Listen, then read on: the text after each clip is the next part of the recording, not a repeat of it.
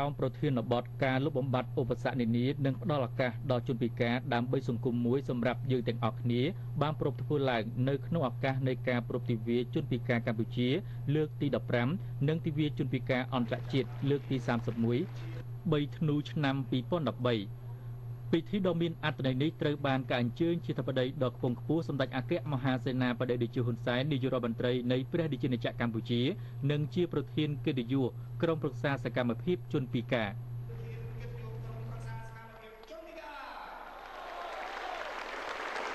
អបអរសាទរទីមានជនពិការកម្ពុជាលើកទី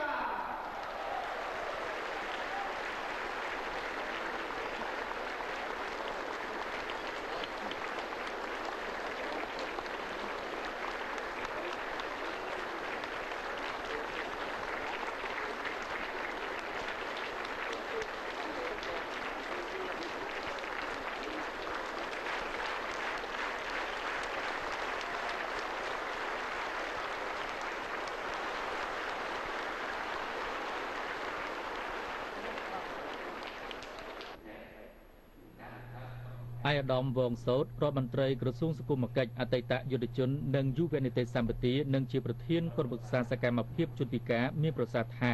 កម្ពុជាបានចាប់ផ្ដើមប្រពៃទិវាជនពិការនេះជាលើកដំបូងនៅឆ្នាំ1999ហើយឆ្នាំនេះគឺជាខួបលើកទី15នៃទិវាជនពិការកម្ពុជា ស្របនឹងខួបលើកទី31នៃទិវាជនពិការអន្តរជាតិ អាដាមរដ្ឋមន្ត្រីមានប្រសាសន៍បន្តថាក្រោមប្រធានបទការលុបបំបាត់ឧបសគ្គនានានិងផ្ដល់ឱកាសដល់ជនពិការដើម្បីសង្គមមួយសម្រាប់យើងទាំងអស់គ្នាទិវាជនពិការឆ្នាំ2013នេះប្រពឡើងស្របពេលជាមួយនឹងការប្រកាសបង្កើតក្រុមប្រឹក្សាសកម្មភាពជនពិការរាជធានីខេត្តនិងការបង្កើតក្រុមប្រឹក្សាការងារសកម្មភាពជនពិការតាមក្រសួងស្ថាប័នដែលក្រុមប្រឹក្សានេះដើរតួនាទីយ៉ាងសំខាន់ក្នុងការអនុវត្តផែនការយុទ្ធសាស្ត្រជាតិស្ដីពីពិការភាពរួមទាំងការ អនុវត្តរបបគោលនយោបាយសម្រាប់ជនពិការនៅថ្នាក់មូលដ្ឋាន ដើម្បីរួមគ្នាធ្វើឲ្យប្រសើរឡើងដល់ជនពិការគ្រប់រូបពិសេសធានានៅភាពសុខដុមរមនាដោយប្រជាជនទូទៅអាដាមរដ្ឋមន្ត្រីមានប្រសាសន៍ឲ្យដឹងដែរថាជាការពិតទិវាជនពិការកម្ពុជា និងទិវាជនពិការអន្តរជាតិឆ្នាំ2013នេះបានប្រពធ្វើឡើងទាំងនៅថ្នាក់ជាតិនិងនៅថ្នាក់ក្រោមជាតិនៅថ្នាក់ជាពិធីនេះរៀបចំឡើងតាមខ្លឹមសារនិងរូបភាពជាច្រើនរួមមាន ពិធីមេតិញការរៀបចំជូននៅអាហារសាមគ្គីជូនបងប្អូនជនពិការការតាំងពិព័រណ៍អំពីសមិទ្ធផលការងារជនពិការនិងសមិទ្ធផលនានាដែលជាស្នាដៃជនពិការការសម្ដែងសិល្បៈរបស់បងប្អូនជនពិការការប្រកួតកីឡាជនពិការនិងសកម្មភាពឃោសនាផ្សព្វផ្សាយអំពីសិទ្ធិជនពិការ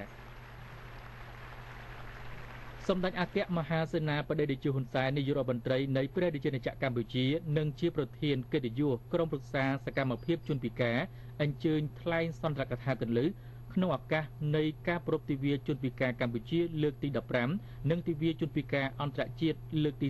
31ក្រោមប្រធានបទការលុបបំបាត់ឧបសគ្គនានានិងផ្ដល់ឱកាសដល់ជនពិការដើម្បីសង្គមមួយសម្រាប់យើងទាំងអស់គ្នា ក្នុងខ្លឹមសារដូចតទៅ។ ពុទ្ធបិតាជាអ្នកសម្របសម្រួល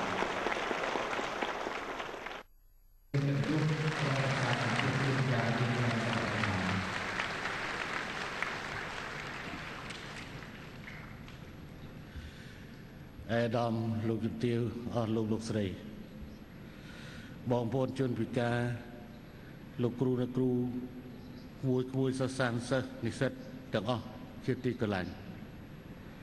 ថ្ងៃនេះ ខ្ញុំពិតជាមានសេចក្តីរាយដែលបានមកចូលរួមជាមួយឯកឧត្តមលោកជំទាវលោកលោកស្រីបងប្អូននិងគួយគួយពិការលោកគ្រូអ្នកគ្រូសិស្សនិស្សិតទាំងអស់នៅក្នុងឱកាសប្រពទិវាជនពិការកម្ពុជាលើកទី15និងទិវាជនពិការអន្តរជាតិលើកទី31ឆ្នាំ2013ដែលជាទិវាមួយ ដ៏មានសារៈសំខាន់នេះការប្រពទិវាជនពិការនៅក្នុងឆ្នាំនេះ ធ្វើឡើងក្រោមប្រធានបទលុបបំបាត់ឧបសគ្គនានានិងផ្ដល់ឱកាសដល់ជនពិការ ដើម្បីសង្គមមួយសម្រាប់យើងទាំងអស់គ្នា ដែលប្រធានបទនេះនឹងចុចចំបញ្ហាកលឹះទាំងឡាយរបស់ជនពិការ ហើយនឹងធ្វើឲ្យយើងគ្រប់គ្នា កាន់តែយកចិត្តទុកដាក់ ខ្លាំងឡើងខ្លាំងថែមទៀតដល់ពួកគេពិធីនេះក៏បានរៀបចំឡើងស្របពេលនឹងការប្រកាសបង្កើតក្រុមការងារសកម្មភាពជនពិការតាមក្រសួងស្ថាប័ននិងក្រុមប្រឹក្សាសកម្មភាពជនពិការថ្នាក់រាជធានីខេត្តដែលអាចចាត់ទុកថាជាព្រឹត្តិការណ៍ប្រវត្តិសាស្ត្រថ្មីមួយទៀតនៃវិស័យពិការភាពដែលនឹងរួមចំណែកបង្កើតជាឧត្តមប្រយោជន៍ ដល់បងប្អូនជនពិការកម្ពុជាយើងជាការពិតគោលបំណងនៃពិធីនាថ្ងៃនេះ គឺដើម្បីបង្ហាញអំពីការបញ្ញាឆន្ទៈបន្តឆន្ទៈនៃការបញ្ញាចិត្តរបស់រាជរដ្ឋាភិបាលកម្ពុជា ក្នុងការអនុវត្តច្បាប់ស្តីពីកិច្ចការពារនិងលើកកម្ពស់សិទ្ធិជនពិការអនុសញ្ញាស្តីពីសិទ្ធិជនពិការ ដែលកម្ពុជាបានផ្ដល់សច្ចាប័នកាលពីថ្ងៃទី20ខែធ្នូឆ្នាំ2012កន្លងទៅនិងបានចូលជាធរមាននៅថ្ងៃទី19ខែមករាឆ្នាំ2013នេះជាងនេះទៅទៀតយើងពិតជាមានមោទនភាពដែលព្រះរាជាណាចក្រកម្ពុជា គឺជាប្រទេសទី1ក្នុងចំណោមប្រទេស ជាសមាជិករបស់គណៈកម្មការអង្គការសហប្រជាជាតិ ផ្នែកសេដ្ឋកិច្ចនិងសង្គមប្រចាំតំបន់អាស៊ីប៉ាស៊ីហ្វិកដែលបានអនុម័តលើទស្សវត្សជនពិការប្រចាំអាស៊ីនិងប៉ាស៊ីហ្វិកឆ្នាំ2013-2022យុទ្ធសាស្ត្រអ៊ីឈុនធ្វើឲ្យសិទ្ធคล้ายជាការពិតជាក់ស្ដែងយុទ្ធសាស្ត្រនេះត្រូវបានទទួលស្គាល់ថាជាកិច្ចព្រមព្រៀងថ្នាក់តំបន់លើកដំបូងដែលមានគោលដៅអភិវឌ្ឍ រួមបញ្ចូលផ្នែកពិការភាពនិងជាផែនទីចង្អុលផ្លូវសម្រាប់តំបន់អាស៊ីប៉ាស៊ីហ្វិកក្នុងការលើកកម្ពស់ជីវភាព និងសិទ្ធិជនពិការប្រមាណ650លាននាក់នៅក្នុងតំបន់ដោយឡែកទិវាជនពិការអន្តរជាតិត្រូវបានប្រារព្ធឡើងដើម្បីរំលឹកពីការតស៊ូដែលមានសហរដ្ឋអាមេរិកនិងអឺរ៉ុបទាមទារសិទ្ធិចូលរួម ក្នុងសង្គមរបស់ជនពិការប្រមាណជាង5លាននាក់នៅក្នុងពិភពលោក នៅក្នុងទសវត្ស1950ដែលពួកគេជាជនបាត់បង់កាយសម្បទាកាយវិញ្ញាណនិងសតិបញ្ញា ហើយតែងតែជួបប្រទះនៅឧបសគ្គរារាំងក្នុងជីវិត ក្នុងន័យនេះ ពួកគេចង់បាន ការផ្លាស់ប្ដូរនៅស្ថានភាពរស់នៅ និងបង្កើនការយល់ដឹងឲ្យកាន់តែទូលំទូលាយអំពីបញ្ហាពិការភាពដោយផ្ដោតសំខាន់លើសិទ្ធិជនពិការ ការធ្វើសមាហរណកម្មជនពិការទៅក្នុងគ្រប់សកម្មភាពនយោបាយសេដ្ឋកិច្ចសង្គមនិងវប្បធម៌ទន្ទឹមនេះព្រះជាណាចក្រកម្ពុជាប្រពៃទិវាជនពិការនេះឡើង ក៏ដើម្បីរំលឹកអំពីមហាវិនាសកម្មនៃរបបបល័យពុយសាសប៉ុលពតដែលបានបន្សល់ទុកនៅផលវិបាកជាច្រើនក្នុងនោះរួមមានស្ត្រីមេម៉ាយកុមារកំព្រានិងជនពិការព្រមទាំងក្របមាននិងកាកសំណល់ជាតិយ៉ាងច្រើនមិនជាតិទុះយ៉ាងច្រើនដែលនៅសល់ពីសង្គ្រាមក្រោយពីថ្ងៃរំដោះ7មករា1979ក្នុងដំណើរការ ស្ដារប្រទេសជាតិឡើងវិញពីកំណោភេទផង ដោយបាត់ដៃទទេទោះជាប្រជុំមុខចំពោះការលំបាកជាច្រើនក៏រដ្ឋាភិបាលបានយកចិត្តទុកដាក់ជានិច្ចចំពោះសុខុមាលភាពប្រជាជនជាពិសេសជនពិការដែលជាជនងាយរងគ្រោះនៅក្នុងសង្គមតាមរយៈកិច្ចខិតខំប្រឹងប្រែងនេះសុខុមាលភាពជនពិការត្រូវបានធ្វើឲ្យប្រសើរឡើងជាជំហានជំហានស្របតាមដំណើរការ នៃការអភិវឌ្ឍប្រទេសជាតិឆ្លៀតក្នុងឱកាសនេះខ្ញុំសូមសម្ដែងការកោតសរសើរចំពោះក្រុមប្រឹក្សាសកម្មភាពជនពិការក្រសួងសង្គមគិច្ចអតីតយុទ្ធជន និងយុវនីតិសម្បទាក្រសួងស្ថាប័នពាក់ព័ន្ធមូលនិធិជនពិការ អង្គការមិនមែនរដ្ឋាភិបាលជាតិនិងអន្តរជាតិព្រមទាំងដៃគូអភិវឌ្ឍនានា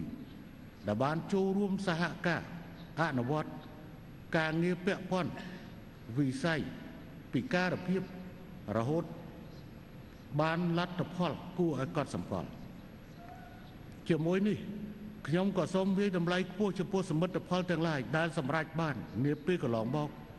ដូចជាកម្មវិធីបង្ការពិការភាពដល់ប្រជាជនគ្រប់រូបការផ្ដល់ថ្នាំការពារជំងឺដែលនាំឲ្យមានពិការភាព ការព្យាបាលតាម វិធីវិទ្យាសាស្ត្រការព្យាបាលដោយចលនាការអប់រំកាយសម្បទាការងារដោះវីននិងការងារជួយជនពិការដោយសារមីតការពង្រឹងការអនុវត្តនិងការបង្កើនវិធានការអប់រំផ្សព្វផ្សាយច្បាប់ស្តីពីចរាចរណ៍ផ្លូវគោកព្រមទាំងការធ្វើសមាហរណកម្មជនពិការទៅក្នុងសង្គមជាតិជាដើម លទ្ធផលទាំងអស់នេះ ជាសក្ខីភាពបង្ហាញអំពីការយកចិត្តទុកដាក់ក្នុងការបង្ការពិការភាព ការគ្រប់គ្រងនិងលើកទឹកចិត្តដល់បងប្អូនជនពិការសម្ដៅលើកកម្ពស់សិទ្ធិជនពិការ ស្ដារលទ្ធភាពពលកម្មជំរុញឲ្យមានការដាក់បញ្ចូលនិងការចូលរួមរបស់បងប្អូនជនពិការ ទៅក្នុងការងារអភិវឌ្ឍសង្គមសេដ្ឋកិច្ចព្រមជាមួយនេះ កម្ពុជាក៏បានបង្កើតក្រុមប្រឹក្សាសកម្មភាពជនពិការទាំងនៅថ្នាក់ជាតិនិងថ្នាក់ក្រោមជាតិក្រុមការងារសកម្មភាពជនពិការតាមក្រសួងស្ថាប័ន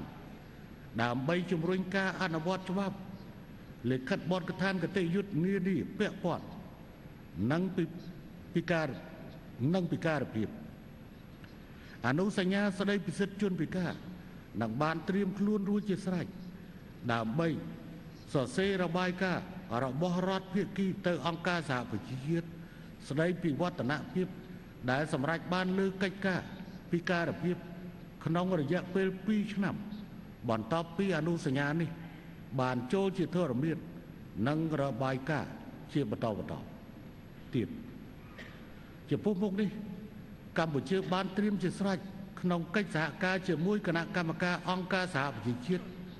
ប្រចាំតំបន់អាស៊ីប៉ាស៊ីហ្វិកក្នុងការគៀងគររាល់ការឧបត្ថម្ភគ្រប់គ្រង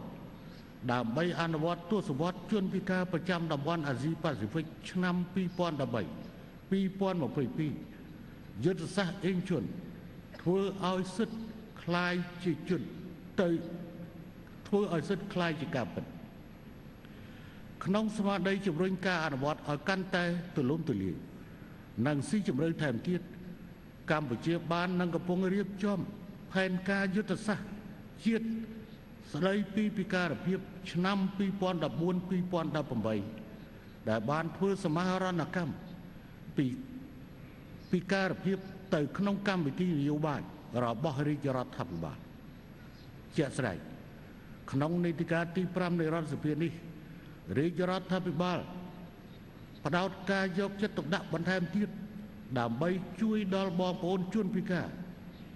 ដោយបានបន្តអនុវត្តគោលនយោបាយជាតិចំពោះជនពិការតាមរយៈ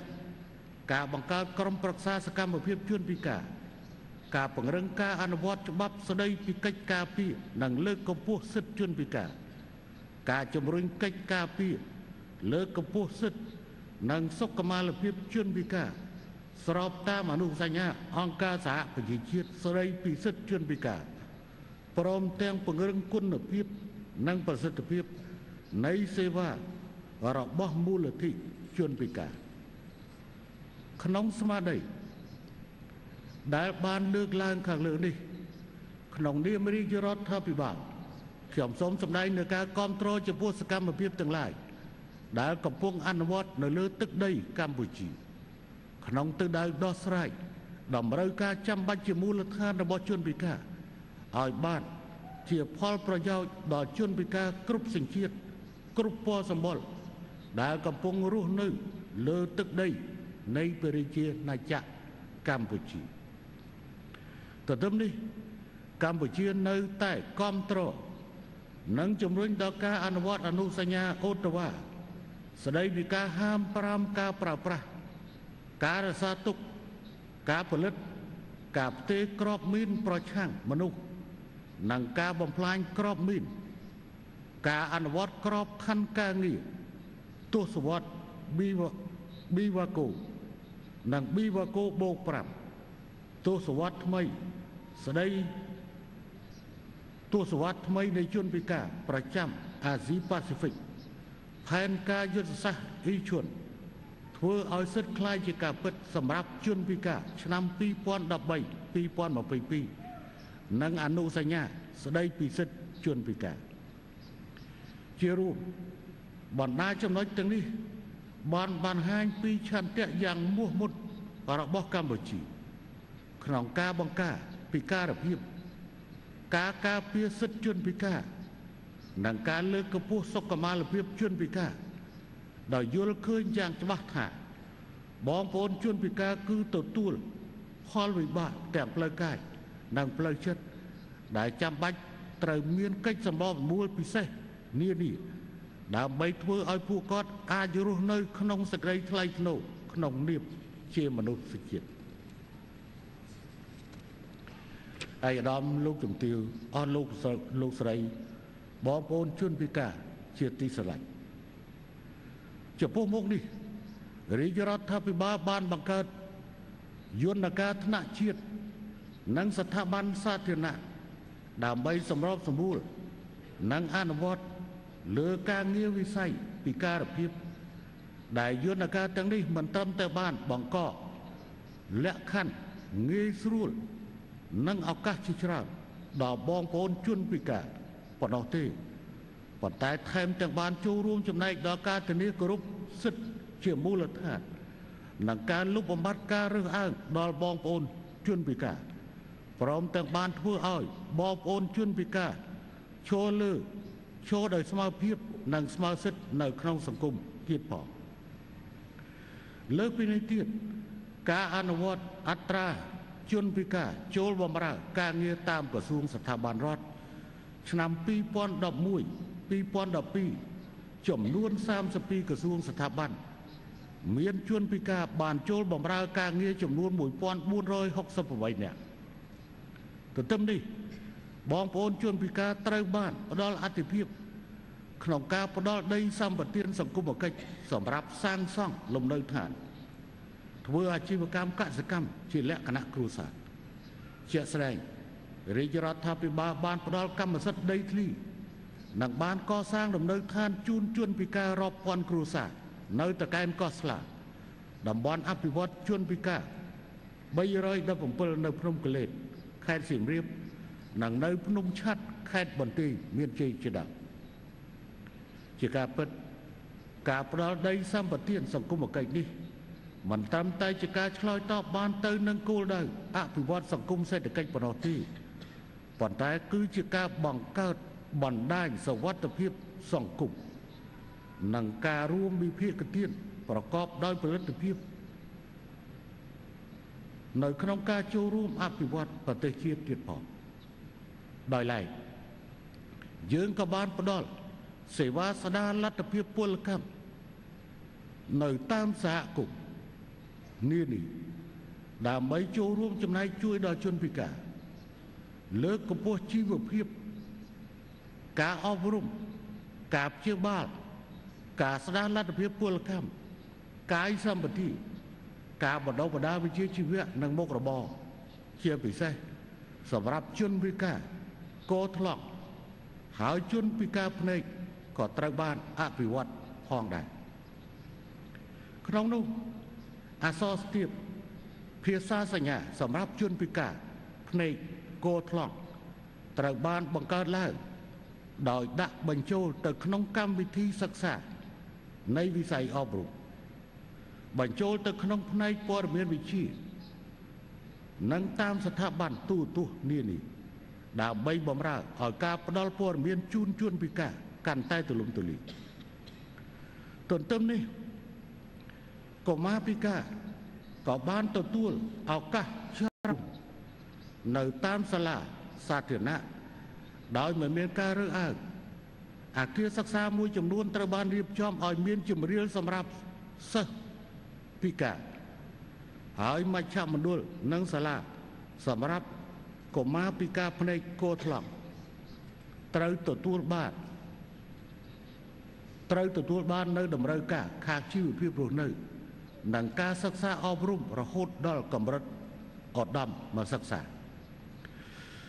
ឯកឧត្តមលោកជំទាវអស់លោកលោកស្រីអនុញ្ញាតឲ្យខ្ញុំបានយកឱកាសនេះដើម្បីបញ្ជាក់បន្ថែមតេតិនជាមួយនឹងបញ្ហាអសរស្ទាបសម្រាប់ជនពិការភ្នែក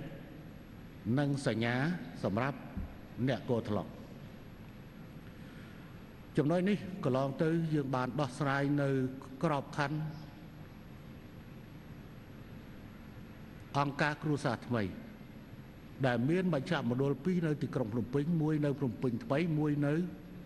ណែច្បារពៅហើយមួយនៅទីក្រុងកំពង់ចាមនៅខេត្តកំពង់ចាមមួយនៅសៀមរាបនិងមួយនៅឯបាត់ដំបងយើងបានបញ្ចូលនៅគ្រូទាំងឡាយទៅក្នុងក្របខ័ណ្ឌនៃគ្រូបង្រៀនរបស់យើងតាមរយៈ បញ្ចូលជាក្របខ័ណ្ឌគ្រូបង្រៀនរបស់ក្រសួងអប់រំយុវជននិងកីឡាយើងបានទទួលយកនៅគ្រូទាំងនេះរួចហើយប៉ុន្តែខ្ញុំសូមស្នើឲ្យក្រសួងអប់រំពិភាក្សាជាមួយនឹងក្រសួងសង្គមគិច្ចអតីតយុទ្ធជននិងយុវនេតិសម្បទាដើម្បីពិនិត្យមើលអំពីគ្រូនៅនឹងមជ្ឈមណ្ឌលដទៃទៀត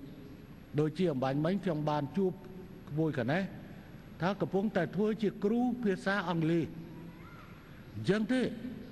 ដោយសារតែយើងបានកំណត់នៅក្នុងអត្រាជនពិការ2%សម្រាប់ស្ថាប័នរដ្ឋនិង1%សម្រាប់វិស័យឯកជនដូច្នេះគឺការទទួលយកគ្រូទាំងនៅក្នុងផ្នែកគ្រួសារថ្មី និងកន្លែងដទៃទៀតគឺជាតម្រូវការមួយ ដែលទៀមទាអនុវត្តឲ្យបានព្រមព្រំគ្នាมันអាចធ្វើតែអង្គការមួយហើយបោះបង់ចោលអង្គការមួយទេ អញ្ចឹងទេគ្រូអាចមានចំនួនបន្ថែមកើនឡើងដែលតាក់ទងជាមួយនឹងការដូចជាធ្វើគ្រូបង្រៀនភាសាអង់គ្លេសបើសិនជាធ្វើគ្រូបង្រៀនភាសាអង់គ្លេសបង្រៀននៅក្នុងមជ្ឈមណ្ឌលពិការនោះអាចនឹងត្រូវបានជ្រើសរើសយកបញ្ចូលក្របខ័ណ្ឌរដ្ឋឯចំពោះប្រាក់បៀវត្សទៀតសោតមួយផ្នែកទទួលប្រាក់បៀវត្សរបស់រដ្ឋនិងមួយផ្នែកទៀតគឺខាង អង្គការក្រៅរដ្ឋាភិបាលនោះគេជួយឧបត្ថម្ភដូចជាក្រមគូសាដូចជាគ្រូនៃក្រណែនៅក្នុងគ្រួសារអង្គការគ្រួសារថ្មីនេះដែលមួយផ្នែកទទួលបៀវត្សពីទេវិការរដ្ឋឯមួយផ្នែកទៀតគឺទទួលបានពីការឧបត្ថម្ភនៃអង្គការអញ្ចឹងទេសូមពិនិត្យមិនកន់មិនមែនក្រន់ធ្វើត្រឹមតែ យើងចាប់ផ្ដើមអនុវត្តនៅ អង្គការមួយហៅថាអង្គការគ្រួសារថ្មីដែលមានទីតាំង5កន្លែងភ្នំពេញ2និងបាត់ដំបង1សៀមរាប1និងកំពង់ចាម1ប៉ុន្តែនៅមានអង្គការច្រើនដទៃទៀតដែលមានគ្រូនៅក្នុងនោះចឹងទេក្រសួងអប់រំយុវជននិងកីឡាត្រូវពិនិត្យមើលអំពីបញ្ហាហ្នឹងដើម្បីទទួលពួកគេឲ្យคล้ายទៅជាគ្រូក្របខ័ណ្ឌដែលចូលបំរើ ឲ្យគេធ្វើការនៅទីនោះចុះក៏ប៉ុន្តែគេមានក្របខ័ណ្ឌរបស់រដ្ឋរបស់រដ្ឋប៉ុន្តែសូមទទួលយកទៅពិនិត្យឲ្យបានបត់ចត់ជាគ្រូពិតប្រាកដដែលកំពុងធ្វើការនៅទីនោះហ្នឹងមួយផ្នែកមួយផ្នែកទៀតតកតងជាមួយនឹងបញ្ហាកម្មវិធីសិក្សាដែលបានបង្កើតឡើងរួចមកហើយហើយកំពុងតែដាក់ឲ្យអនុវត្តនៅអសរស្ទាប និងភាសាសញ្ញាចំណុចនេះអង្គការគ្រួសារថ្មី ហើយអាចនឹងមានអង្គការដទៃទៀតបានធ្វើត្រូវតែមានការទទួលខុសត្រូវដោយក្រសួងអប់រំបើមិនដូច្នោះទេ នៅពេលដែលអង្គការគ្រួសារថ្មីគាត់ចាក់ចេញកិច្ចការនេះវារលាយទៅតាមការចាក់ចេញរបស់អង្គការនេះតែម្ដង អញ្ចឹងទេអ្វីដែលយើងបានបង្កើតឡើងរួមជាមួយនឹងស្ថាប័នរដ្ឋរបស់យើងបូកជាមួយនឹងអង្គការនានាបង្កើតឡើងនៅអសរស្ទាបបូកជាមួយនឹងភាសាសញ្ញានេះត្រូវតែយកមករៀបចំសហការរៀបចំដើម្បីទាញយកបដៅបដៅហើយចេញថវិកាដើម្បីចំណាយដូចជាកន្លងទៅខ្ញុំទៅឯ អង្គការគ្រួសារថ្មីជាធម្មតាខ្ញុំបានសន្យាជាមួយក្មេងៗថាមួយឆ្នាំខ្ញុំទៅពីរដងដើម្បីរៀបចំបាយទឹកនិងជួបជុំសម្ដែងសម្ដាលឧបត្ថម្ភសម្រាប់គួយមួយនៅទីក្រុងភ្នំពេញហើយនៅខេត្តកំពង់ចាមប្រគល់ឯកឧត្តមខៀវកញ្ញរិទ្ធខេត្តសៀមរាបទទួលឯប្រគល់ឯកឧត្តមទាបាញ់ខេត្តបាត់ដំបងទទួលប្រគល់ឯកឧត្តមសខេងអញ្ចឹងទេខ្ញុំមានឱកាសដើម្បីពិភាក្សាជាមួយលោកអាម៉ាំងសុង នឹងដាក់ឈ្មោះដើមពួកគាត់វិញប៉ុន្តែចុងក្រោយឈ្មោះអាម៉ាំងសុងចាំហៅអាម៉ាំងសុងចឹងបដ ாய் គឺថាគាត់និយាយអំពីបញ្ហាហ្នឹងកាលមុននោះយើងបានទទួលយកដោយសារមានអាដែងនៅផ្នែកបោះពុំអសរស្ទាបយើងបានក្រសួងអប់រំឯកឧត្តមអឹមសទ្ធីក៏បានទទួលយកអានឹងមកផ្នែកហើយប៉ុន្តែយើងត្រូវគឺធ្វើការច្រើនទៀតដើម្បីឲ្យផ្នែកនៃការបោះពុំនេះវាបាន ធានានិរន្តរភាពសម្រាប់សិភៅសិក្សារបស់កុមារពីការភ្នែកដែលប្រើប្រាស់អសរស្ទាបអសរស្ទាបជាមួយគ្នានោះដែរគឺវាមានបញ្ចូលទៅក្នុងអាដែងកម្មវិធីតេតិនជាមួយនឹងព័ត៌មានវិទ្យាដូចជា អាផ្នែកកុំព្យូទ័រសូមបញ្ជាក់ឯកឧត្តមលោកជំទាវមួយចំនួនមិនដែលប្រហែលជាមិនដែលបានទៅកន្លែងជនពិការភ្នែកទេប្រហែលជាមិនអាចដឹងបានប៉ុន្តែខ្ញុំអាចដឹងបានដោយសារខ្ញុំទៅពិនិត្យស្រាវជ្រាវមើលកុំបងប្អូននេះណាមួយចំនួនចេះកុំព្យូទ័រលើសអ្នកនៅគឺខាងលើនេះអ្នកនៅខាងលើអត់ចេះចុចកុំព្យូទ័រទេចេះអត់ចេញទេ ប៉ុន្តែបងប្អូនជួនពិការចុចកុំព្យូទ័រចេញចុចកុំព្យូទ័រចេញចឹងមិនប្រកាសតអ្នកមានភ្នែកទាំងគូអាចចុចកុំព្យូទ័របានទេប៉ុន្តែក៏មិនប្រកាសថាអ្នកដែលអត់ដែលពិការភ្នែកទាំងពីរมันអាចកុចចុចកុំព្យូទ័របានទេមានកុំព្យូទ័រសម្រាប់រៀនរបស់របស់ជនពិការភ្នែក បើសិនជាយើងអាចស្វែងយល់បញ្ហាហ្នឹងយើងកាន់តែឲ្យតម្លៃហើយយើងកាន់តែសកម្មនៅក្នុងការជំរុញអំពីបញ្ហាពិការភាពនេះក្មួយនាងសរិទ្ធមិនដឹងថាថ្ងៃនេះមកឲ្យអត់បាទអាថ្ងៃហ្នឹងជ្រៀងចបៃឲ្យគេស្ដាប់ផងឮថានេះផងមានយកចបៃមកអត់សរិទ្ធ ហើយចូលរោចបៃនៅហ្នឹងគឺឡើងយើងអ្នកដេញជ្រៀងចបៃស្រាប់ហើយកែងបន្ទាប់ពីហ្នឹងទៅត្រូវសំដែងសិល្បៈសំដែងសិល្បៈរោចបៃឲ្យដេញទៅជ្រៀងចបៃដែរណានឹងជាលេខាក្រុមលេខារបស់ខ្ញុំឥឡូវនៅវិទ្យុរបស់ណែបាទ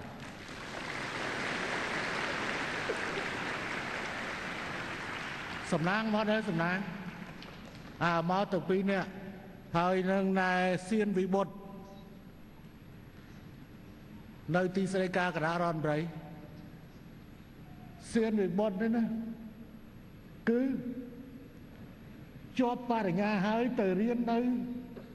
សាលាភូមិន្ទរដ្ឋបាលឥឡូវនៅ ប្រតិកម្មរហ័សមិនត្រឹមតែអាចវាយកុំព្យូទ័របានវាយបាន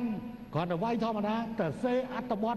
អ្នកអាននៅលើទូរទស្សន៍និងវិទ្យុខ្លះនៃបទអត្ថាធិប្បាយគឺគាត់អ្នកសរសេរណាអាហ្នឹងហើយនាងសរិទ្ធនេះថ្ងៃមុនហ្នឹងគឺខ្ញុំសារលបងឆ្នាំទៅនោះឆ្នាំទៅឆ្នាំហ្នឹងឆ្នាំហ្នឹងតែម្ដងកាលដែលយើងជួបជុំគ្នាកាលខែមេសានោះ ខ្ញុំចង់ឲ្យគាត់ចុចកុំព្យូទ័រដើម្បីឲ្យខ្ញុំមើលគាត់បើកមកគាត់ចុចរួចហើយចំចំសាកល្បងអាលបាមួយ គឺរឿងភាគនិទានរឿងភាគនិទានហ្នឹងគាត់ចុចរកភាគនិទានណាដល់ខ្ញុំថាខ្ញុំចង់ស្ដាប់ភាគទី72គាត់ចុចយកភ្លាមបើសិនជាយើងត្រូវប្រើពេលទៀត ប៉ុន្តែសម្រាប់គាត់គាត់វិធីស្ទាបបត់ចុចចេញអាភាគទី72មករបស់ព្រោះអាហ្នឹងវាមាន78ភាគរឿងហ្នឹងអញ្ចឹងទេបាទអាហ្នឹងគេមានប្រូក្រាមរបស់គេគេមានអាណាចុចអាណាគេមានដាក់នៅលើអាដៃសញ្ញាអាដៃស្អីអាដៃ keyboard អញ្ចឹងគេយើងជួនកាលអន់ជាងក្មួយក្មួយពិការទេអា keyboard ហ្នឹងគឺគេដាក់ទៅគេមានសញ្ញាគេចុច គេចុចចេញមកអញ្ចឹងទេបញ្ហានេះក្រសួងអប់រំយុវជននិងកីឡាត្រូវតែចាប់ផ្ដើមច្បាមបញ្ហានេះដើម្បីយើងចំណាយថវិកាហើយកាត់បន្ថយព្រោះអង្គការដូចគ្រួសារថ្មីអីគាត់ដើរទៅរកលុយសុំគេមកដើម្បីបង្កើតបានអាហ្នឹងហើយអាហ្នឹងបើសិនជារលាយទៅតាមគាត់គាត់ចាក់ចេញ ឬគាត់មានបញ្ហាអីទៅគឺគាត់ចាក់ចេញអានឹងបាត់បង់គឺមិនបានទេឥឡូវកម្មវិធីនេះបានបញ្ចូលទៅក្នុងបណ្ដាសាកលវិទ្យាល័យបានបញ្ចូលទៅក្នុងសាលាហើយអញ្ចឹងទេក្រសួងអប់រំយុវជនទៅទៅកីឡាត្រូវចាប់យកអាហ្នឹងអាហ្នឹងមកបែបទៅចំពោះភាសាសញ្ញាដែលនោះកំពុងតែធ្វើការបកប្រែនោះណាកំពុងធ្វើការបកប្រែធ្វើដៃធ្វើជើងភាសានេះចាំបាច់ត្រូវតែធ្វើគេថាឯកភាពវោបនីយកម្ម ទាំងភាសាទាំងអក្សរស្ទាបប្រហែលជាអក្សរស្ទាបប្រហែលជាมันมันពិបាកទេដោយសារតែរកឃើញទៅគឺมันមានច្រើនប្រភេទទេប៉ុន្តែអារឿងបញ្ហាភាសាគោសញ្ញាអាចនឹងមានការប្រើខុសគ្នាអញ្ចឹងទេគួររកឲ្យមានវិធីឯកភាពគេថាធ្វើឯកភាពកម្មឯកភាពពីវោបរិយកម្មនៃភាសាគោភាសាសញ្ញា រួចហើយត្រូវដំឡើងអាស្ថានភាពនេះដើម្បីឲ្យคล้ายទៅជាបែបបទមួយសម្រាប់ធ្វើជាសញ្ញាព្រោះខ្ញុំហាក់ដូចជាបានសង្កេតថា មានការប្រើប្រាស់ផ្លែកផ្លែកគ្រាបន្តិចពីចំណុចមួយទៅចំណុចមួយហើយអាចនៅតាមគ្រួសារជាទម្លាប់ដូចជានៅពេលដែលខ្ញុំទៅជួបក្មេងៗខ្ញុំតែខ្ញុំនៅចាំបានតែពីរទេអេ3ដែរ អាមួយឆ្ងាញ់គឺធ្វើដៃចេះចឹងអារឹងឆ្ងាញ់ហ៎មើលដល់គ្រូឆ្ងាញ់គេធ្វើចឹងហ្នឹងហ្នឹងឆ្ងាញ់អាអាហ្នឹងឆ្ងាញ់ហ៎មហូបហ្នឹងសួរតែឆ្ងាញ់ឬអត់ធ្វើដៃចឹងគេថាឆ្ងាញ់ហ៎គេធ្វើដៃចឹងទាំងអស់គ្នាហើយដល់ថាឆ្អែតគេធ្វើដៃចេះដល់ត្រឹមហ្នឹងអាហ្នឹងគឺឆ្អែតហើយណា ដល់អាប្រឹងរៀនប្រឹងរៀនគេធ្វើដៃចេះខ្លះគេធ្វើដៃចេះប្រឹងរៀនណាប្រឹងរៀនគេធ្វើដៃចេះហើយជួនកាលគេធ្វើចេះទៅវិញណាចេះណាហ៎ប្រឹងរៀនណាហើយប្រឹងរៀនគេធ្វើដូចដៃអាមួលហ្គេមម៉ូតូណា អញ្ចឹងទេប៉ុន្តែដល់ទៅពេលហាក់ដូចជាមានការខុសគ្នាខ្លះខ្លះអញ្ចឹងទេយើងត្រូវធ្វើគឺថាឯកភាវោបនីយកម្មនៃភាសាសញ្ញាហើយអាចនឹងបោះពុំចេញដើម្បីឲ្យដឹងថាសញ្ញាបែបណាគឺស្អីព្រោះបញ្ហានេះយើងអត់ត្រូវភ្លេចទេអត់ត្រូវភ្លេចថាមិនមែនក្រន់តែជាសញ្ញាតាក់ទងរវាងជន គោថ្លង់និងជួនគោថ្លង់ជាមួយគ្នាទេ យើងត្រូវដឹងឲ្យច្បាស់ថាជនកោថ្លង់ត្រូវការតាក់ទងជាមួយតំណាក់តំណងជាមួយនឹងជនដែលមិនពិការមិនកោថ្លង់ឯអ្នកមិនកោថ្លង់ក៏ត្រូវមានតំណាក់តំណងជាមួយនឹងអ្នកកោថ្លង់ដែរដូច្នេះមិនត្រឹមតែចេះអ្នកសម្រាប់អ្នកដែលកោថ្លង់ទេ ប៉ុន្តែអ្នកដែលមិនកោថ្លង់ក៏គួរតែចេះខ្លះខ្លះដែរបើមិនបានចេះទាំងអស់ព្រោះឥឡូវយើងទៅជួបយើងសួរសួរឈ្មោះអីយើងយើងយើងយើងថាម៉េចសួរថានៅឯណាយើងថាម៉េចយើងវាអត់ដឹងបើសិនជាយើងដឹងយើងអាចនិយាយបានណាហើយទៅទៅសារតែរៀបបាយឲ្យក្មេងៗសួរឆ្ងាញ់ឲ្យអត់ដឹងវាសារម៉េចយ៉ាងបណ្ដោយក្មេងៗប្រាប់ចាំរហូតចឹងមក ហើយដល់ថាឆ្អែតគឺធ្វើពីក្រោមឡើងលើជាមកដល់បើថាគេទៅបានគេស៊ីមិនតាន់ឆ្អែតគេធ្វើទៅទៅប៉ុណ្ណេះតែដល់ឆ្អែតហើយគេធ្វើប៉ុណ្ណេះអាអញ្ចឹងទេបញ្ហានោះយើងក៏ត្រូវមានវិធីមួយដើម្បីធ្វើឲ្យឯកភាពហើយផ្ដល់សញ្ញានេះសម្រាប់ទំនាក់ទំនង ក្នុងនឹងមានការប្រើប្រាស់នៅការផ្ដល់សញ្ញាព័ត៌មានតាមរយៈកញ្ចក់ទូរទស្សន៍នានាផងដែរខ្ញុំគិតថាបដាទូរទស្សន៍នានាដើម្បីជួយផ្សព្វផ្សាយព័ត៌មានឲ្យបងប្អូនជនពិការកោថ្លង់របស់យើងអាចនឹងទទួលបាននៅព័ត៌មានมันគួរកំណាញ់នឹងការ ទទួលគេហៅទទួលយកមកធ្វើការគេហៅថាធ្វើការតាមមកនៅក្នុងកម្មវិធីនៃព័ត៌មានរបស់ខ្លួនទេបើសិនមិនបានធ្វើរៀងរាល់ពេលវេលាព័ត៌មានហើយណាស់សរុបព័ត៌មានប្រចាំសប្តាហ៍គួរត្រូវបានធ្វើគួរត្រូវបានធ្វើបើមិនបានព័ត៌មាន ដូចថាព័ត៌មានសំខាន់សំខាន់ក្នុងចានព័ត៌មានពេលម៉ោង7យប់ឬម៉ោង12ថ្ងៃត្រង់បើមិនបានធ្វើអាហ្នឹងទេគឺប្រចាំសប្តាហ៍អាហ្នឹងក៏ជាការដោះស្រាយបញ្ហាមួយមិនក្រន់តែជាបញ្ហាការងារធ្វើរបស់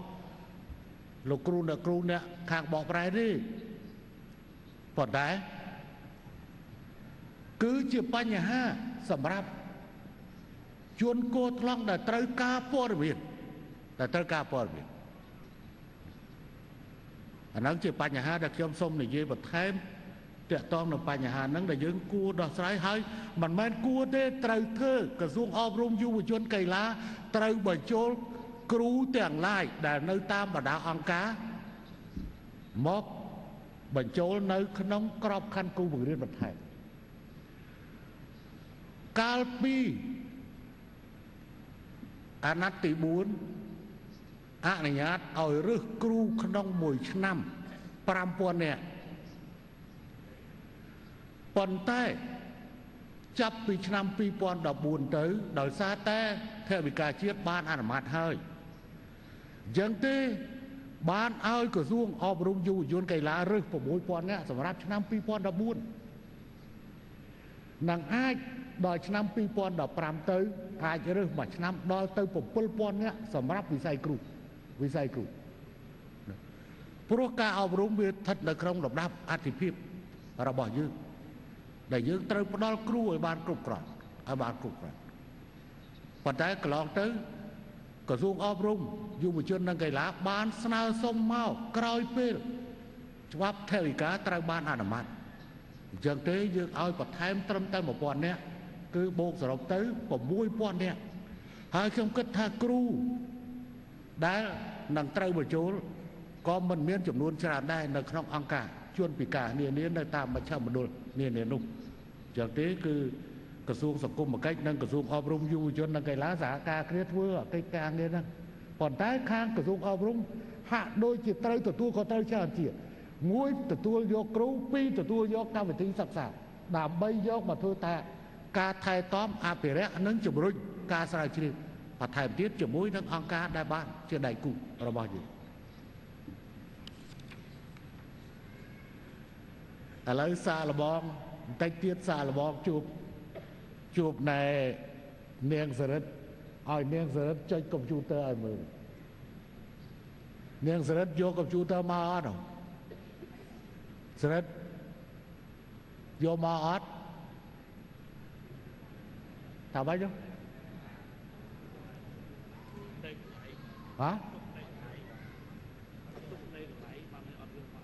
អត់យកមកទេអើឥឡូវកំពុងរៀនបរិញ្ញាបត្រយកបរិញ្ញាបត្រជាប់ពោះនោះជាប់បរិញ្ញាបត្រហើយយកបរិញ្ញាបត្រជាប់ពោះទៀតហើយកុំព្យូទ័រឲ្យវាយវាយឲ្យឲ្យរាវរកអាកន្លែងដែលលំបាក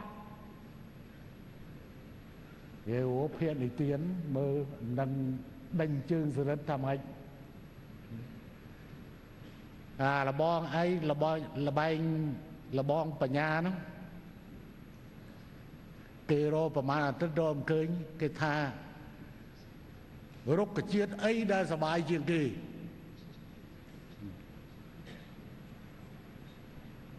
ពួកគាត់អ្នកកាន់ជាពិធីករវត្ថុខាងតំណាក់តំណង អីកំសាន្តជាមួយនឹងសបាយជាមួយប្រជាជន ពីដើមក្រុមអង្គការគេហ្នឹងគេបង្កើតវត្ថុមួយជួនពិការប៉ុន្តែដើរសុំលុយគេទេហើយទៅជួលរបស់គេយកបប្រើដល់ថ្ងៃមួយទូរទស្សន៍ CTN CNC ផ្សាយអំពីរឿងហ្នឹងខ្ញុំក៏ចាប់ឧបត្ថម្ភ10លានរៀលក្នុងមួយខែដើរសុំរៃអង្គាគេយកមកបង្កើតបានវត្ថុហើយក្រោយមកដើម្បីឲ្យពិបាក ទូទស្សន៍អើវត្ថុបាយ័នបង្កើតអេគីបឲ្យមួយទិញគ្រឿងបំពាក់ស្អីស្អីឲ្យទៅនៅក្បែរស្ថានីយ៍នោះប៉ុន្តែគេមានស្ថានីយ៍ឯករាជ្យរបស់គេមួយរបស់គេមួយគេថារុក្ខជាតិអីដែលសបាយជាងគេមើលកូនកូនកាលនេះឆ្លើយមើលស្អីគាត់ថារុក្ខជាតិដែលសបាយជាងគេក្រូចសើចសើចរហូត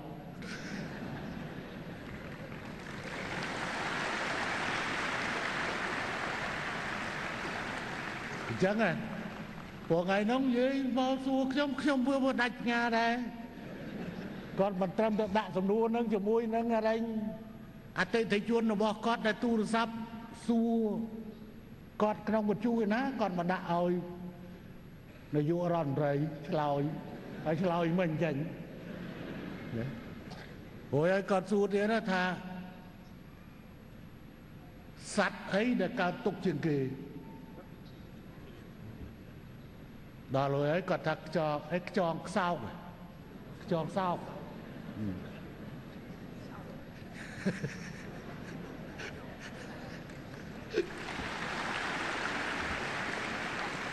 ហើយ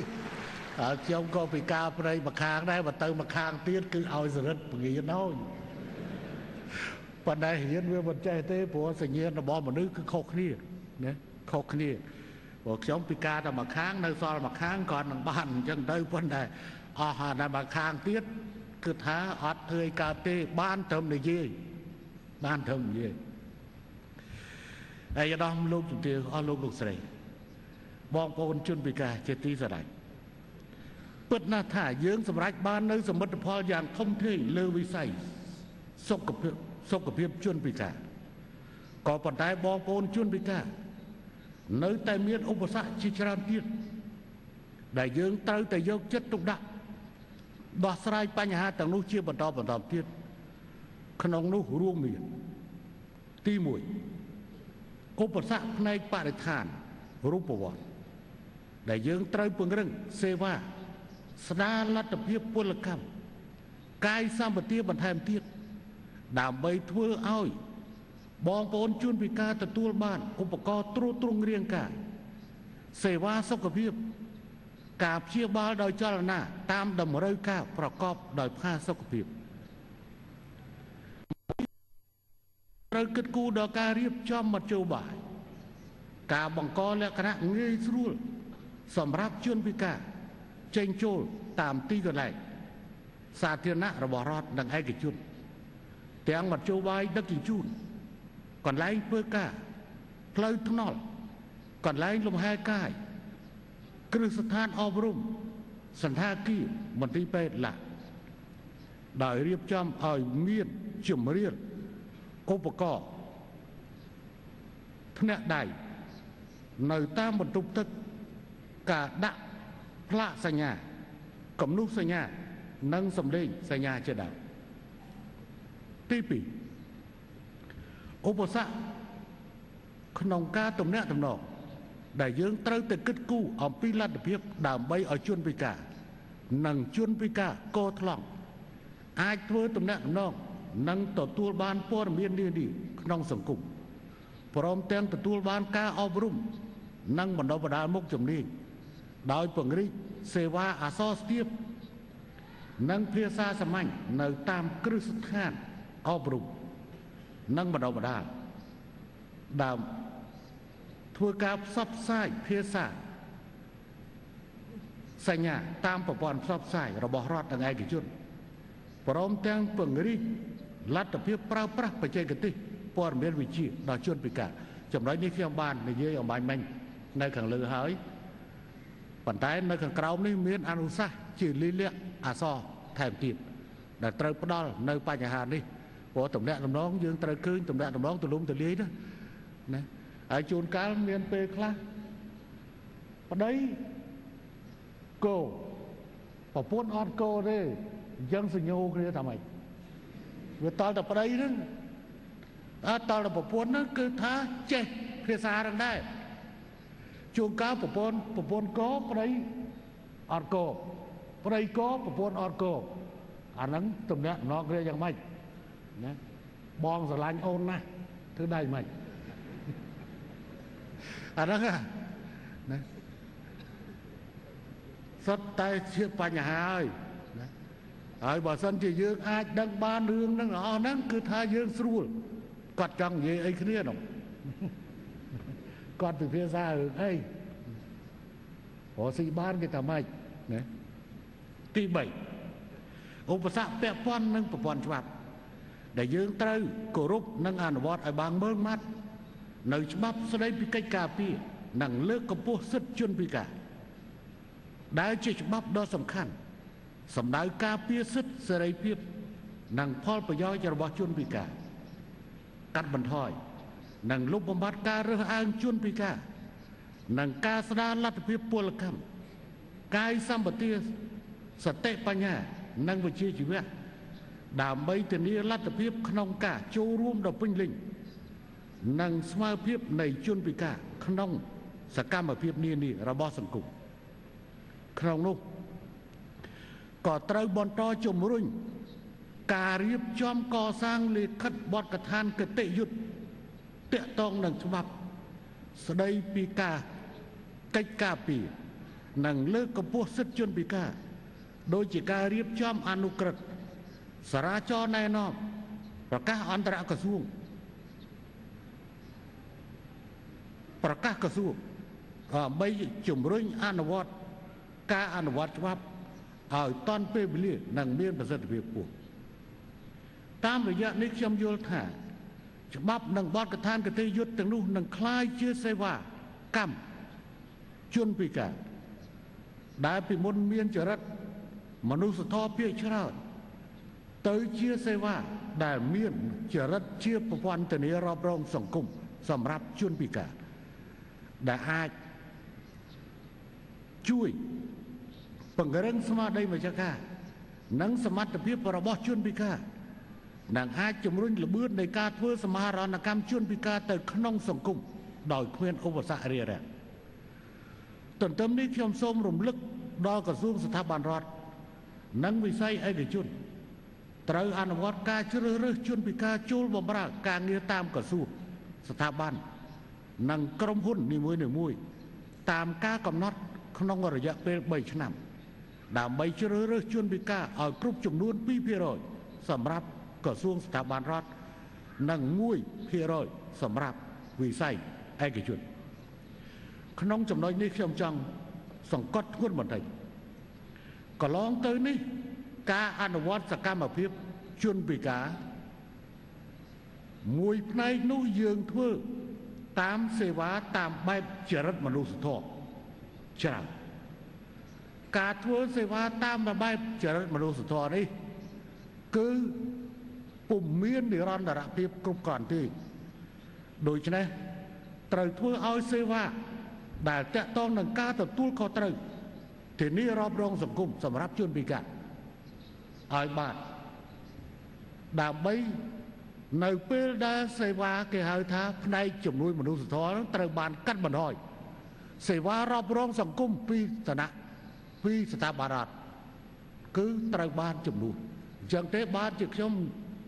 ផ្ដល់នៅបញ្ហាពាក់ព័ន្ធជាមួយនឹងបញ្ហាការទទួលគ្រូនិងបញ្ហាទាំងឡាយរាប់ទាំងបញ្ហាមួយចំនួនផ្សេងទៀតដែលមុននេះមានចរិតមនុស្សធម៌ច្រើន ឲ្យទៅជាចរិតធានារាប់រងសង្គមសម្រាប់ជនពិការជាប្រព័ន្ធតែប្រជាប្រព័ន្ធទី4ឧបសគ្គពាក់ព័ន្ធនឹងអាកប្បកិរិយាក្នុងសង្គមដែលយើងត្រូវជំរុញការផ្សព្វផ្សាយការយល់ដឹងអំពីបញ្ហាពិការភាពដល់សហគមន៍ដើម្បីបន្តទប់ស្កាត់កាត់បន្ថយនិងលុបបំបាត់ជាបដាបដានៅរាល់តម្រងនៃការរើសអើង និងការមាក់ងាយចំពោះជនពិការដើម្បីបំផុសឲ្យមានការចូលរួមជាពហុភាគីក្នុងការលើកកម្ពស់សិទ្ធិជនពិការតាមរយៈការដាក់បញ្ចូលបញ្ហាពិការភាពទៅក្នុងការអភិវឌ្ឍគ្រប់វិស័យក្នុងន័យនេះដោយដែលបានលើកឡើងខាងលើខ្ញុំសូមស្នើដល់ដៃគូអភិវឌ្ឍអង្គការសង្គមស៊ីវិលអង្គការមិនមែនរដ្ឋាភិបាល វិស័យឯកជនសូមយកចិត្តទុកដាក់អនុវត្តការងារពាក់ព័ន្ធពិការភាពឲ្យទទួលបានប្រសិទ្ធភាពខ្ពស់សម្រាប់សង្គមជាតិយើងខ្ញុំជឿជាក់ថាអង្គពិធីនេះនឹងផ្ដល់នៅផ្លែផ្កាដល់បងប្អូនជនពិការពិសេសការបង្កើនការយកចិត្តទុកដាក់គិតគូរពីបញ្ហាពិការភាពការការពារនិងលើកកម្ពស់សិទ្ធិជនពិការ ការដាក់បញ្ចូលពិការភាពទៅក្នុងការអភិវឌ្ឍគ្រប់រំដាប់ថ្នាក់ឆ្ពោះទៅរកសង្គមមួយសម្រាប់ទាំងអស់គ្នាដើម្បីធ្វើឲ្យសិទ្ធិคล้ายជាការពិត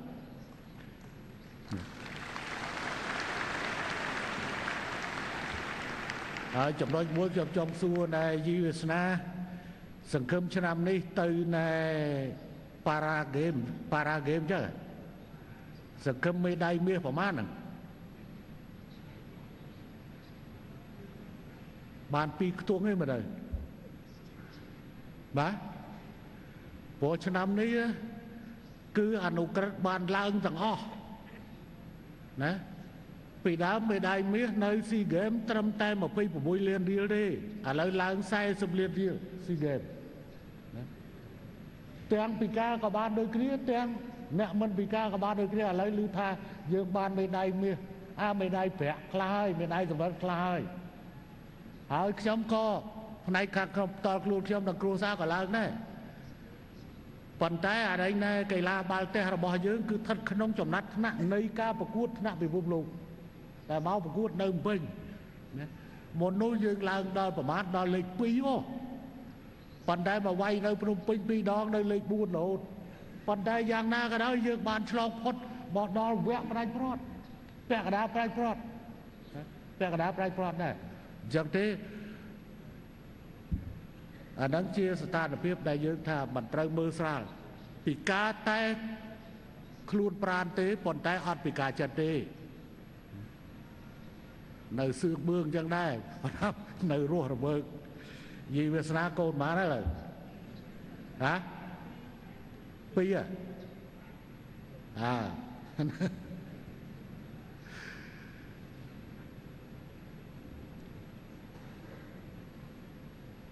មុននឹងបញ្ចប់ខ្ញុំសូមឧទ្ទិសទិវានេះ ជាការប្រែក្លាយសេចក្តីឈឺចាប់ដោយសារពីការភាពទៅជាឱកាសមាសនៃការបង្កើនសមត្ថភាពនិងទេពកោសល្យថ្មីថ្មី ការលើកកម្ពស់សិទ្ធិការរឹតចំណងសាមគ្គីភាពកិច្ចសហការនិងស្មារតីម្ចាស់ការរបស់ជនពិការក្នុងនាមប្រជាជនកម្ពុជា ខ្ញុំសូមឆ្លៀតឱកាសនេះជាថ្មីម្ដងទៀត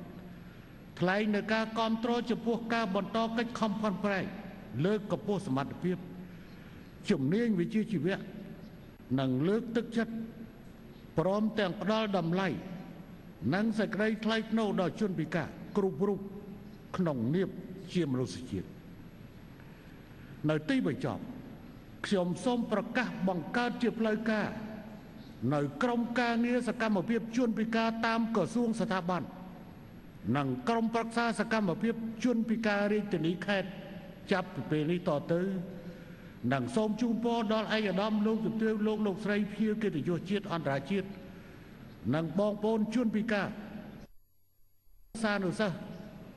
និស្សិតទាំងអស់សូមប្រកបដោយពុទ្ធពរទាំង4ប្រការ គឺអាយុវណ្ណៈសុខៈពលៈ កំបីគ្លៀងគេឡើយសូមអរគុណ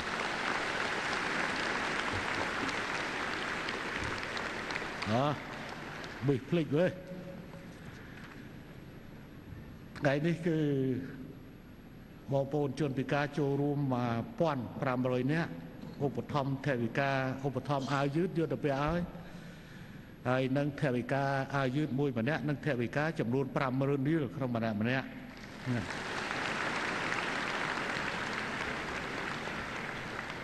ជូនលោកគ្រូអ្នកគ្រូចំនួន50នាក់ក្នុងម្នាក់ម្នាក់អាវយឺតចំនួនអាអាវយឺតមួយថវិកា50000រៀលជូនសិស្សនិស្សិតយុវជនកាយរដ្ឋយុវជនកាកបាទកងកម្ពុជាចំនួន800នាក់ក្នុងម្នាក់ម្នាក់ថវិកាចំនួន10000រៀលសូមអរគុណ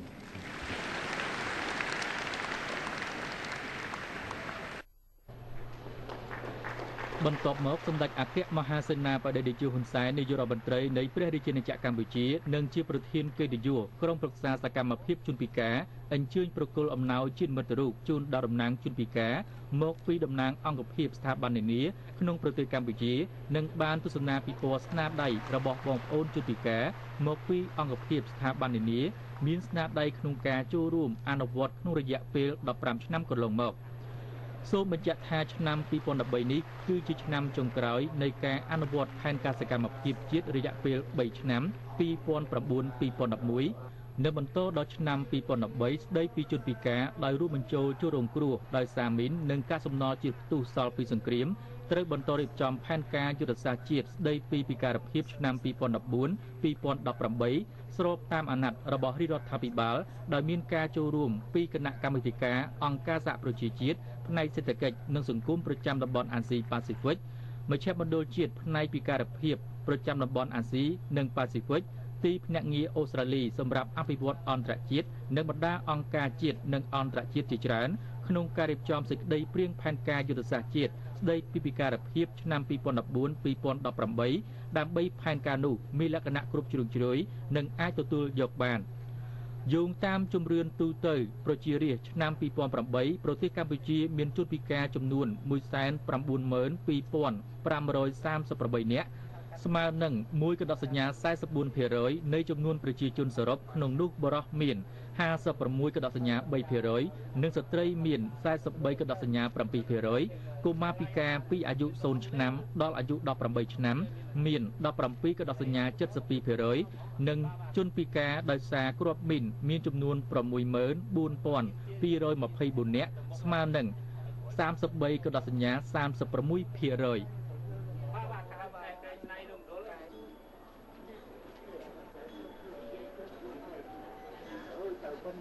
ពេញ3ឥឡូវនេះបាទបាទបាទសិនមកខាងខាងហើយនៅចូលបាទបាទចូលបាទចូលចូលបាទបាទឆ្នាំតែឆ្នាំមួយតែគាត់តែយើងបាទចូលក៏បាទបាទចូលអូយបើកំពុងអ្នកទៅគ្រូនៅតាមទទួលនេះអត់ទៅទៅទៅវារឿងអីដែលត្រូវនិយាយហាហាវារឿងអីដែលត្រូវនិយាយឥឡូវ បាទឥឡូវចង់បានប្រពន្ធហើយនៅជួអត់តាន់ឃើញហាអឺទៅទីចាំទៅដល់នៅនៅសិនចឹងបាទខែមួយទៅព្រោះជនពិការអេទីនទីចង់មានការងារធ្វើដែរ ហើយនៅមកសម្រាប់ចិត្តនឹងខែខែធម្មតាសម្រាប់គាត់ផងអឺពួកខ្ញុំមានផែនការមួយទៀតជាមួយលោកសំណាងថាពួកយើងជួយតែជនពិការដែលអត់ចេះអក្សរយើងនៅខ្វះជនពិការដែលអត់ចេះអញ្ចឹងត្រូវបង្កើតកម្មវិធីមួយទៀតសម្រាប់ផ្ដល់វិជ្ជាជីវៈដល់ពួកគាត់ពួកគាត់ចេះអក្សរដូចខាងម៉ាសាហើយអញ្ចឹងរោងចេះប៉ុន្តែទៅបង្កើតវិទ្យុនៅកំពង់ចាម បង្កើតនៅកន្លែងហ្នឹងតាំងណាតើលោកយកណាដាក់ឲ្យនៅបាយ័នដដែលអូតែអញ្ចឹងស្រីណាគេឯកវិបហ៎បាទសម្រាប់អូបើដល់គេឯកវិបយកអូគេគេដឹងហើយគេមានម៉ាស៊ីនផ្សាយបងបញ្ញាទៀតដល់គេនៅជាមួយខ្លាចហ៎ហ៎គាត់អូខេហ្នឹងអូខេអង្គជាអង្គការនៅហ្នឹងសិនតែពួកខ្ញុំសំលុយសម្រាប់ជឿទិញមកលោកទិញមកនៅសំចិត្តយកនឹងសុំញ៉ាំបាទអត់តផ្សាយប្រហែលគីឡូហ៎លោកបាទ គីឡូហ៎តែទៅបានទិញទៅទៅទៅទិញ mixer សំសំបាន mixer បានហើយត្រូវជួលគេបន្តទៀតសម្រាប់ខែមួយខ្ញុំមកត្រូវចំតាមជួលគេទៀតហើយវិញហើយបងពិភាក្សាជាមួយស្រីណារឿងហ្នឹងហ្មងទៅតែទាំងពីរចិញ្ចឹមត្រីមិនបានចេះតែទៅឆ្ងាយទៅឆ្ងាយទៅរហូតទៅដល់បានហើយអរគុណណាស់ទៅទៅអរបាទលោកឪពុកណា ដែលជានាយករដ្ឋមន្ត្រីនៃព្រះរាជាណាចក្រកម្ពុជាហើយខ្ញុំបានសូមលើកកាយរឿងយក្សដីមកស្ដីចែកជូនដល់បងប្រុសបងស្រីព្រមទាំងលោកឪពុកដែលជានាយករដ្ឋមន្ត្រីនៃព្រះរាជាណាចក្រកម្ពុជាហើយលើករឿងយក្សហ្នឹងហើយយក្សហ្នឹងឈ្មោះថាកតិនតយនេះគាត់អាយុ2500ព្រមយកប្តី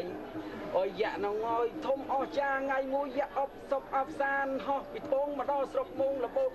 ខោភងបាក់តាមដង520អូយយៈងើយ ធំនោះធំហើយអស្ចារ្យជីទាកប៉ាហើយល្ងឹតថ្ងៃអើធំនោះធំហើយដល់ចិត្តកម្ពស់វា2000ម៉ែត្រពិតជាយៈក្រុងអាសេរីយាយមួយមាត់មួយម៉ាត់ដូចជាផភូតតែទៅចោះគាត់ទៅពីចាំទល់គ្នាយកមកបើដើរលេងលេងចិត្តមួយកណាត់ថ្ងៃអូចនិយាយពីរុនសិតនឹងជ្រៅជាងដងពូតលាក់មកវងមក520អើហើយ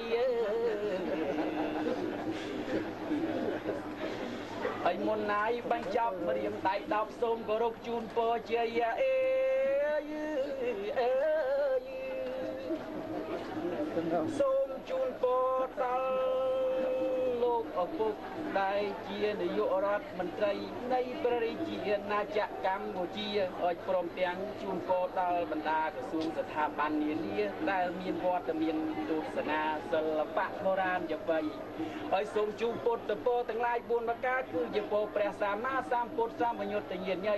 គឺអាយុវណ្ណៈសុខៈពលៈចូលមានដល់លោកឪពុកស្រីព្រមទាំង បងប្អូនដូចលោកពូអ្នកមីងដែលគ្រប់គ្រងនៅតាមស្ថាប័ននានាសូមឲ្យបានហើយក្តីសុខថ្ងៃនេះទៅមុខបានលះហើយលះហើយលែងលះឡាយសុខហើយសុខទៀតកំបីឃ្លៀងឃ្លាតពីពុទ្ធពរជ័យហើយបើសិនខ្ញុំបាទច្រៀងទៅមានខុសខាតមិនស្អាតណាក្តីសូមមេត្តាអធិស្ឋានដល់រូបខ្ញុំបាទផងហើយអេងខ្ញុំបាទទូមិនចប់ផ្លៃតែប៉ុណ្ណឹងចុះគឺ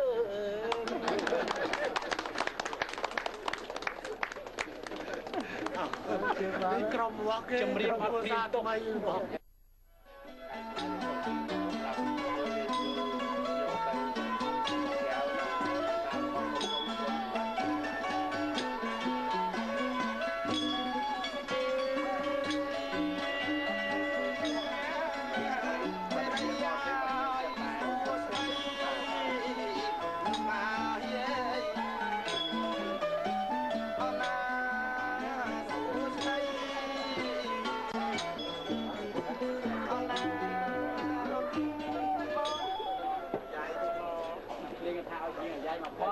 អាយ៉ាយមើលមើលសាអាយ៉ាយមកគាត់នោះខ្ញ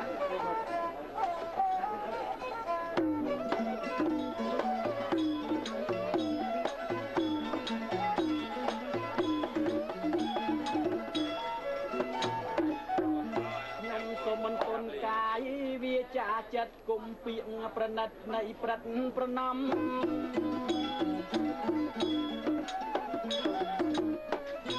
ខ្ញុំសូមមិនគុណកាយវាចាចិត្តគុំពីងប្រណិតនៃប្រិតប្រណំគោរពលោកជំទាវឯកឧត្តមដែលមកជួបជុំទស្សនាកំសាន្តខ្ញុំបាទគោរពដល់យាយតាសូមលើកហាត់ថាគោរពសន្តាន បងប្អូនតូចធំទាំងប៉ុន្មានច ចាំស្ដាប់តាមដានខាងសម្ដីនិស័យអ្នកច្រៀងមិនទៀងទាត់មានផ្លាតមានផ្្លាត់ ភ្លេចសេចក្តីមួយម៉ាត់ត្រូវចិត្តញាតប្រុសប្រុសមួយម៉ាត់ខុងចិត្តញាតស្រីស្រីត្រូវចិត្តណាខាងតាទៅខុងខាងយាយ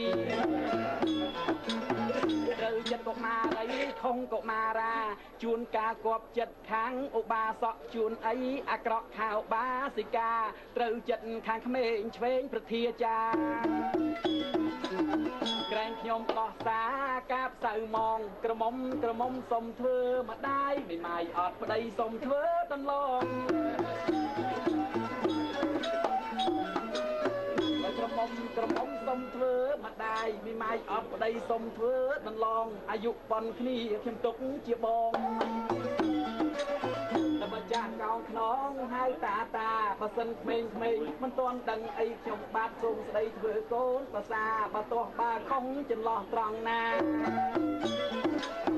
យ៉ាងក្រែងខ្ញុំតោះតាមិនគួគប់បីណាហើយខ្ញុំបាទគោរពប៉ុននឹងចោះឲ្យពេលវេលាខ្ញុំវាខ្លីខ្ញុំបាទសូមគោរពជូនពរជូនជ័យសេ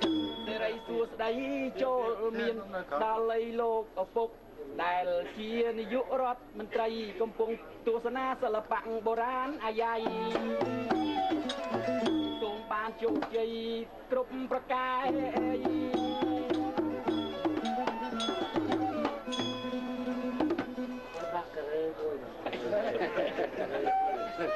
ខានយូរដូចចង់ឆ្កងលោកខានទៀ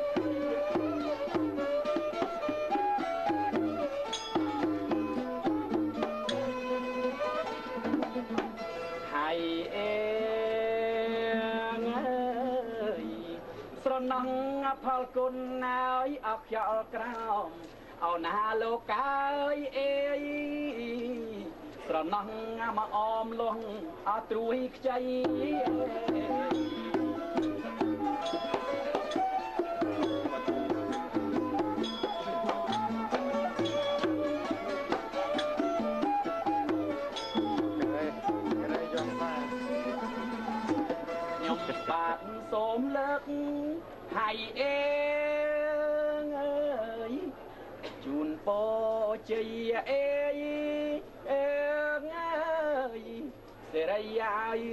ដីគ្រប់ប្រអើយកាយ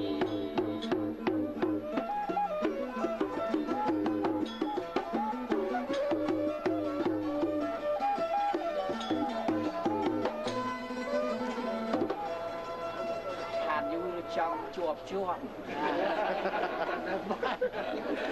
ណាមេក្រុមភ្លេងឡាយអឺបីលៀនសម្រាប់ក្រុមភ្លេង ហើយអ្នកជាងទៅខាងក្រៅអឺអឺចាំបាន